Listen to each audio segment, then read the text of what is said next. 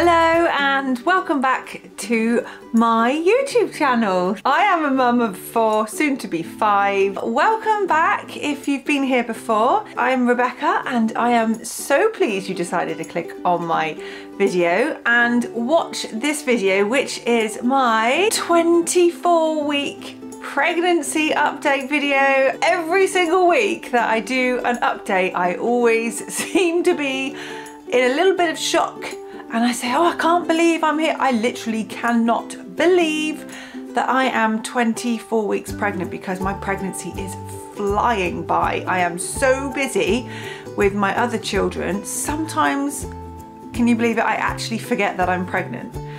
I'm not forgetting so much anymore because this bump is getting proper bumpy now. I am in a really, really good mood. I've had a great week. I feel so much more positive about things now.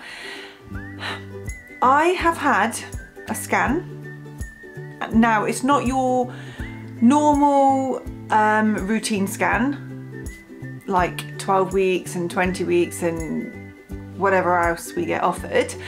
I've had a scan because if you have watched some of my previous videos, you would know that there is a possibility that this little baby may have Down syndrome. So we had been offered an amnio in my earlier time of my second trimester.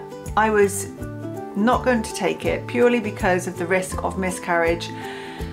I worry about things anyway and I worried that we may be the ones that had that miscarriage. We have been under the care of a specialist baby hospital as well, so fetal baby unit, and we had a scan there the other day to do with growth and everything looked pretty good. We went back uh, a few days ago for a scan purely for the baby's heart. They wanted to do a much more in-depth look at baby's heart and baby looks good.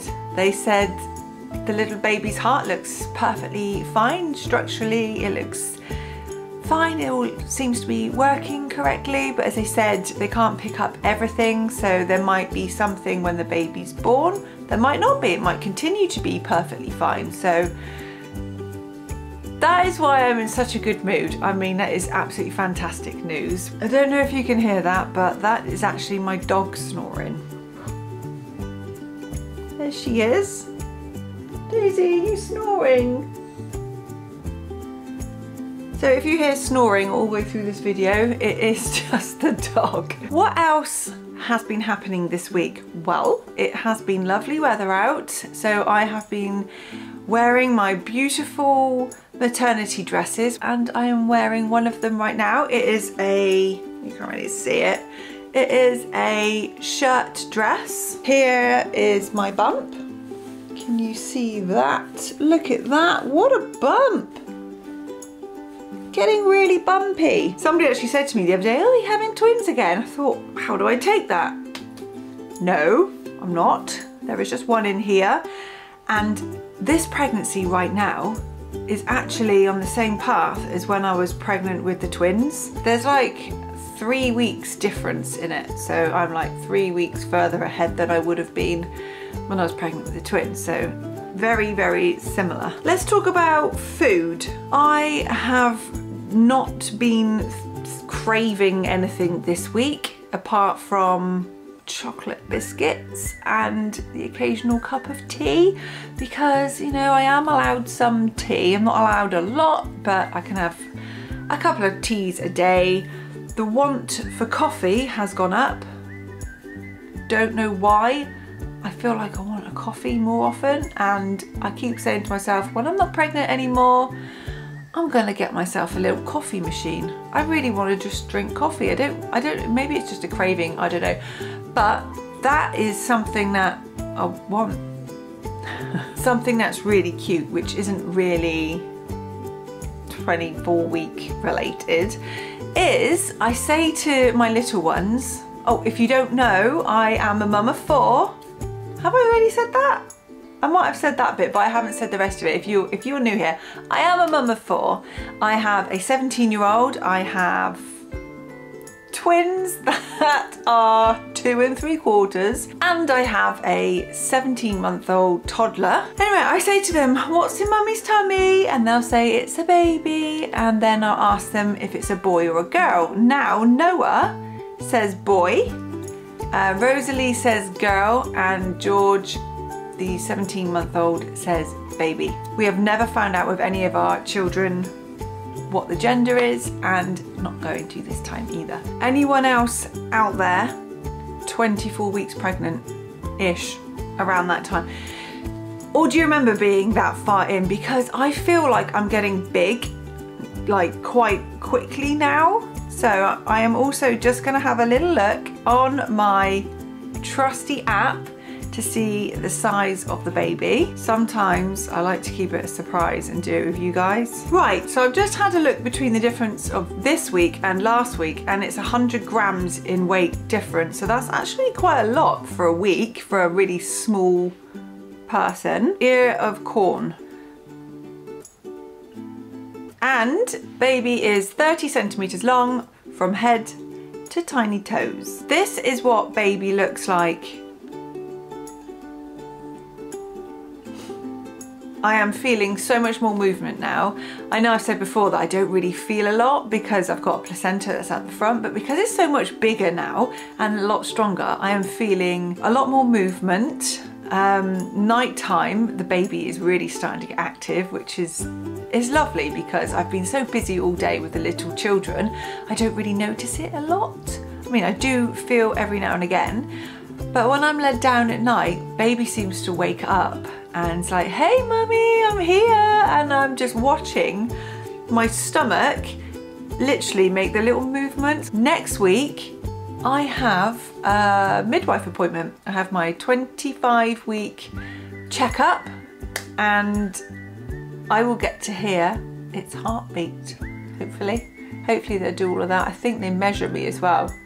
I think it's then that they start measuring to see the size of my bump to see it's, if it's on point. It's literally a measurement from the top of the uterus, I believe, to the top of your pubic bone. Do a little measurement when you're led down.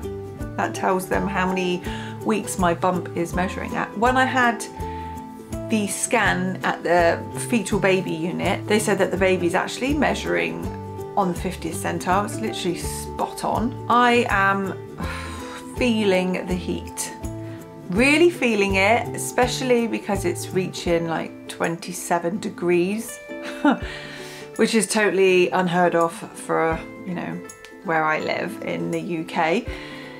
Well, it's not completely unheard of, but it's not regular. But it is really, really warm. And if you have any tips on how to keep cool, please put them in the comments below and I will read because I need to find a way to help me. We go out with the children in the garden and I go out in the morning because it's not so hot and then by midday the sun's beaten down so we don't go out then and then later on like after dinner we'll go out and the sun has kind of dipped away a bit but it's still so warm. I've been putting a tough tray out for the children to play with with water in and whatnot and obviously you've got paddling pools and things like that but how can this mummy here cool down? That is something that I need to do because I'm not going to sit there in my bra and pants in the back garden because nobody wants to see that. Anyway now I shouldn't be so hard on myself. I'm a pregnant woman I can wear what I want. I should sit out in a bikini. Why haven't I not thought of that?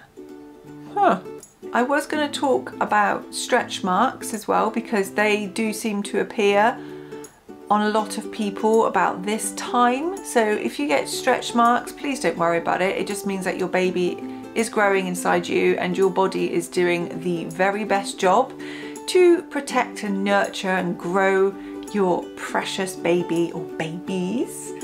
And they're just there as a reminder that you are an amazing person because you are. You can get them on your hips, your stomach, your legs, your boobs.